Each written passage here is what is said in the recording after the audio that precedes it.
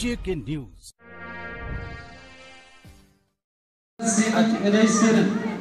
दिग्देशन की उसमें called Computer Learning and Training program which will climax today 23 of March 2019.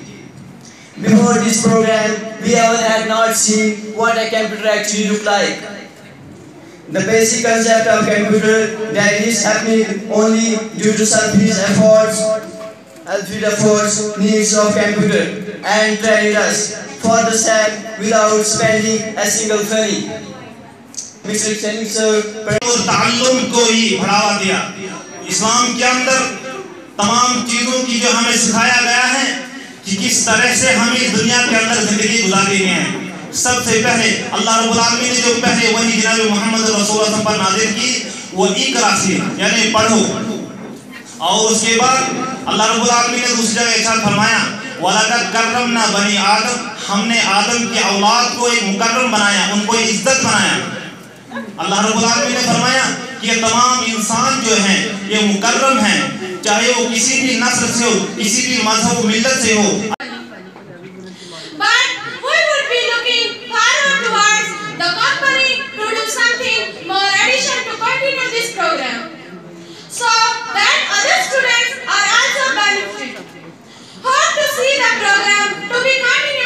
नहीं। जल्दी जल्दी यहाँ पे।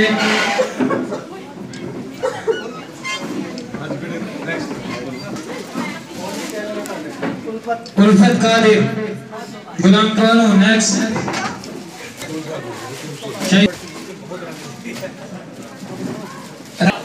आसमा बानो यहाँ से शुरू होने चाहिए। इसके साथ साथ हमें आरसीडी जैसी ऑर्गेनाइजेशन का फ़ायदा उठा के हमें अपने ट्रेडिशनल कल्चर को भी रिवाइव करना चाहिए। हमारी वो कानीकारी या पश्मीना जो हमारा लाखों में बिकता है, आज भी बिकेगा। इन बच्चों ने अभी सिलाई की ट्रेनिंग करी है कंप्यूटर्स की ट्रेनिंग करी है। इसी कंप्यूटर के माध्यम से आप नेट पे जा सकते हैं। दुनिया के लोग आपके खरीदार हो सकते हैं एक कंप्यूटर स्क्रीन के ऊपर आज। और मैं तो कहती हूँ कि ये प्रोग्राम तो एक बहुत बड़ा रेवोल्यूशन लेके आ सकता है। ज़रूरत है कि यहाँ के लोग इसकी आवाज़ उठाएँ। कि हमें बच्चों को हमें बच्चों को ओपनिंग्स देनी है उनको मैक्रो के साथ माइक्रो क्रेडिटिंग भी जोड़नी है ताकि हर बच्चा अपना भविष्य खुद लिखे।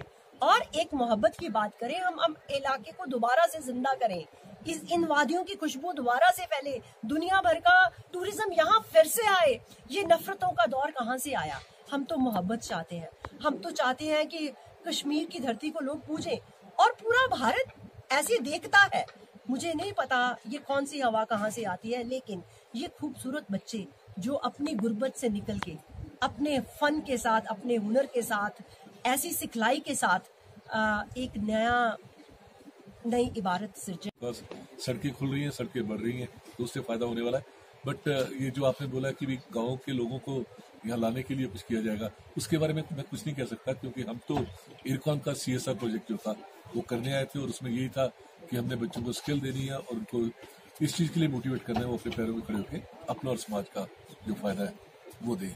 तो इससे अलावा मैं अभी कुछ कह नहीं पाऊँगा बिकॉज़ सी एस आर के तहत हम लोग टाइम टू टाइम काम करते रहते हैं।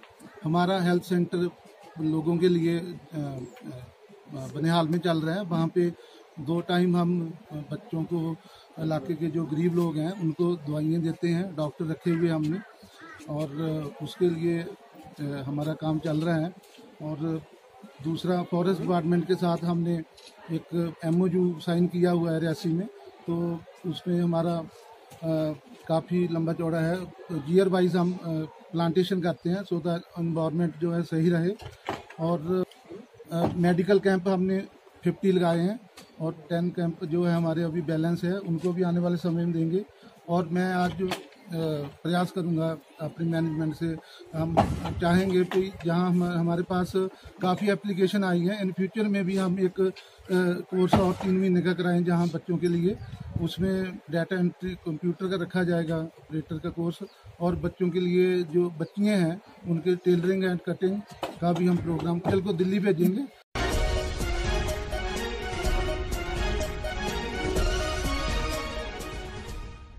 News.